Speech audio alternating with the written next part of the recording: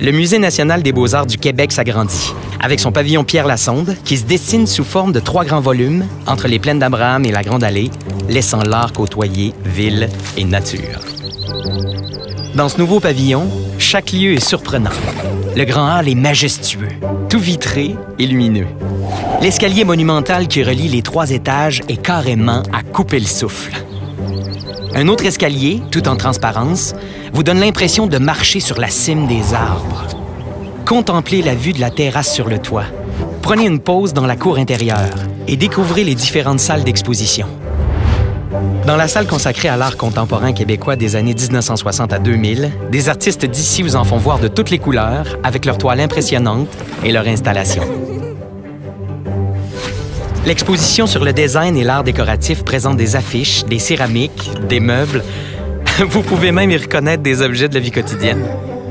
Une place est aussi donnée à la culture du Grand Nord, une exposition qui révèle toute la splendeur de l'art inuit. En traversant un passage où on contemple un des plus grands chefs-d'œuvre du musée, on découvre en plus un tout nouvel espace dédié aux familles dans le pavillon central. Le Musée national des beaux-arts du Québec, c'est votre musée. Profitez-en. Pour en savoir davantage sur le nouveau pavillon ou connaître la programmation complète du musée, visitez le mnbaq.org.